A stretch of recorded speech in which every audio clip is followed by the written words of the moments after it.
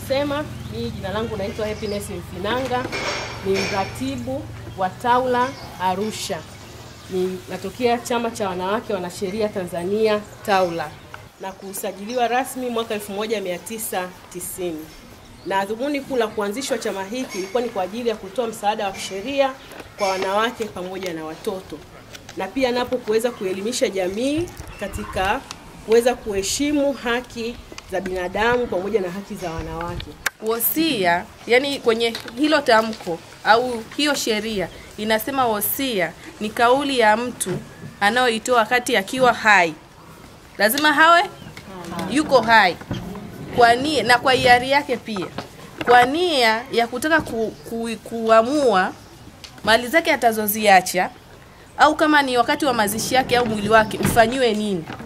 Kwa yani yeye anaacha kauli ikitokea kama mimi kesho, kwa sababu hajui kama ni kesho au mwaka ujao au miaka kumi ijayo, si ndio? eh? Lakini ikitokea ikatokea mimi sipo, huu utaratibu ningependa ufatwe ufuatwe kwenye mali zangu, labda kwenye sehemu ya kulaza mwili wangu. Yani pale ndo anafanya nini, anapata nafasi ya kuamua anataka kifanyike nini, si ndio? eh? Lakini pia tunaweza tukasema wasia ni tamko la mdomo au inaweza kuwa ni maandishi pia, si ndio, ambao anatoa mtu, lakini lazima akiwa hai, ili kuamua sasa jinsi gani kama akiwa hayupo mambo fulani yaendeje, ambayo yeye anayaacha. Ndio maana alisia wosia, sawa eh? Sasa kama kuna wosia, je, kuna wosia wa aina ngapi? Si ndio eh? Kuna wosia wa aina aina mbili. Kuna wosia mtu anaotoa si ni kauli, anaweza kawa ametoa kauli yake kwa mdomo, si ndio? Inawezekana mtu kweli alikuwa na nia ya kutoa wosia, lakini kwa sababu ya hali yake alikuwa hawezi kuongea, yuko labda kitandani, lakini anataka kutoa kauli yake ya mwisho, si ndio? Anaitoa kwa kwa mdomo. Kwa hiyo ndo aina ya kwanza ya nini? Ya wosia. Wosia unaotolewa kwa nini? Kwa mdomo. Lakini kuhusia aina ya pili ni wosia unaoandikwa na mtu, si ndio?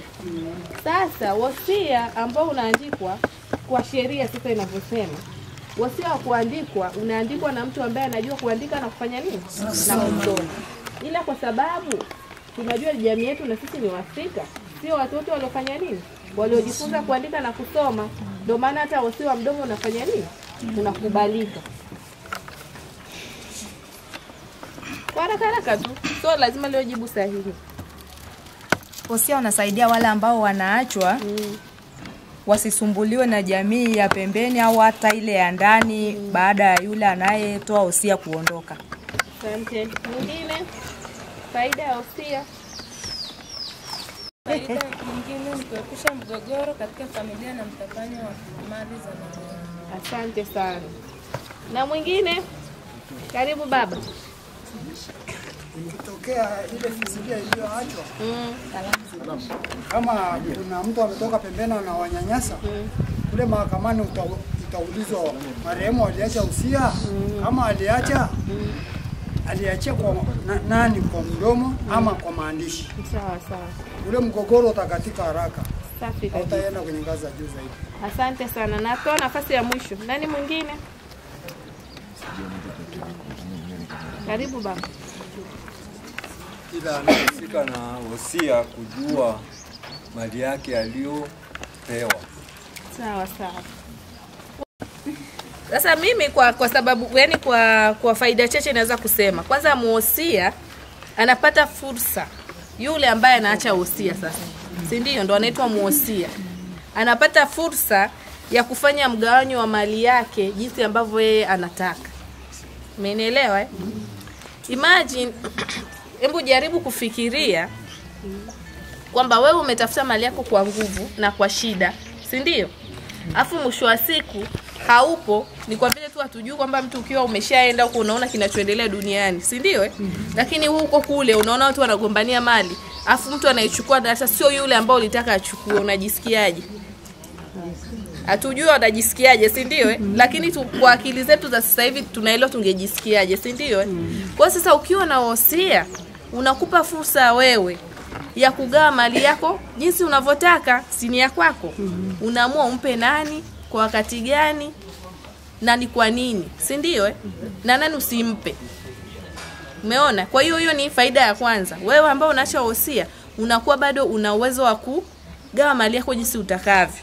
Ya pili, unapata fursa ya kuamua nani awe msimamizi wa mirathi yako, na hapa ndo tatizo linapotokeaga, si ndio? Eh? Baba akifariki, kuna tunajua kwenye meza zetu kuna ule sio anaitwa mzee wa kivuli yule, si ndio? Mm. Anatakuwa anze sasa kushika boma, kuhakikisha mambo yanaenda sahihi. Lakini je, umejiuliza yule ni msimamizi wa mirathi? Ameteuliwaje? Mpaka kama tukisema msimamizi wa mirathi, yeye mzee kivuli labda au babu wa, wa ukoo pale, yeye ndo ameanza kushika sasa boma na kuanza kuendesha mambo. Sisi tunasemaje kwamba yeye ni msimamizi wa mirathi?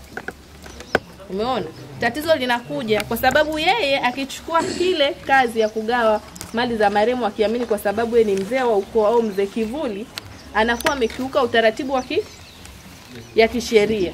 Kwa hiyo sasa, mtu yoyote ndani ya wale watu wa familia ya marehemu akapeleka kesi mahakamani, ndio mnakuja kugundua aha, yule kumbe aliyegawa. Unaona, eh? Kwa sasa kwenye wosia kitu kingine ambacho mwosia anaacha wosia anaweza akafanya ni kumteua msimamizi wa mirathi yake. Inaweza kawa ni mke wake kama ameoa, inaweza kawa ni mume wake, inaweza kawa ni mtoto wake, inaweza kawa ni mdogo wake, inaweza kawa ni mama yake. Umeona eh? Yeye ndio mwenyewe anaamua nani wa msimamizi wa mirathi. Hiyo ni faida tofauti na kwamba sasa baadaye hayupo, ndo tunaweza kusema nani awe msimamizi wa mirathi. Ah, huyu anatamaa mali ata- atatapanya. Ah, huyu hapa atapendelea upande mmoja. Ah, huyu mtoto ni wa mtoto wa nje. Unaona anapokuja kuleta tena migogoro. Lakini akiwa ameshaandika, si ameshamaliza kila kitu, inakuwa tu ni kufuata utaratibu wake.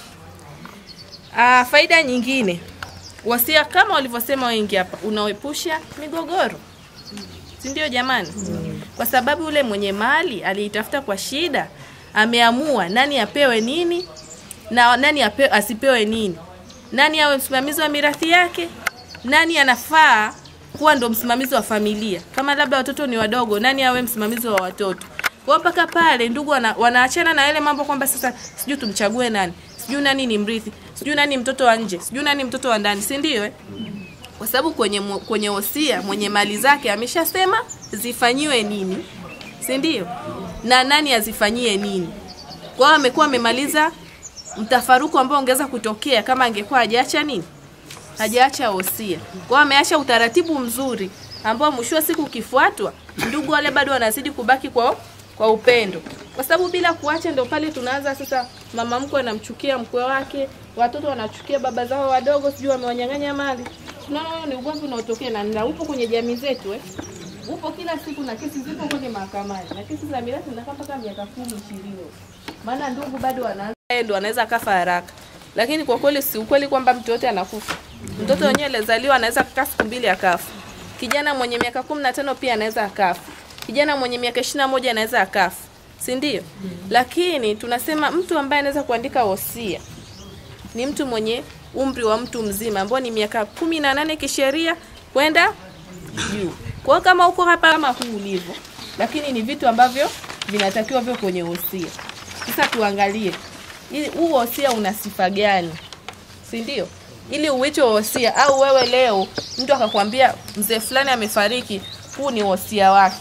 Ni nini ambacho unatakiwa uangalie kuhalalisha kwamba ule ni wosia halali ambao hata ukipelekwa mbele ya mahakama unapokelewa au hauwezi huo wosia. Hakikisha aliyeandika ni mtu mwenye umri wa miaka 18 ambaye ni mtu mzima. Hiyo ndo sifa ya kwanza unaangalia.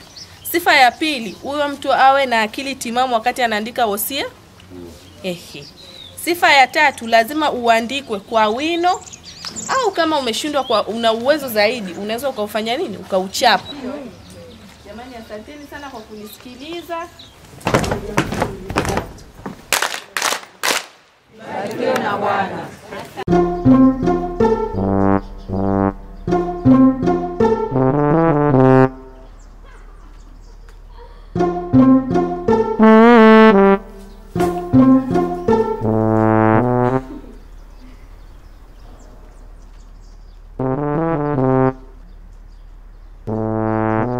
Wewe kijana. Unafanya nini dirishani kwa mwanangu saa hizi? Unafanya nini? Hapa hapa yes yes yes. Eh? No. Wewe ni kibaka. Hapana. Ila Nani huyu tena? Ni- Nilikuwa nanyapia tu habari za hizi. hapana, isa nyumbani kwa watu. Hapana, wewe ni kibaka. Hapana mzee. Chabu za nini? Wakati Vodacom inakuletea simu janja kali za Itel Gado na Tecnofire kwa bei ya jioni. Pata GB za bure kufidia gharama zako na ufurahie mtandao super. Yajayo yanafurahisha. Uko tayari? Vodacom.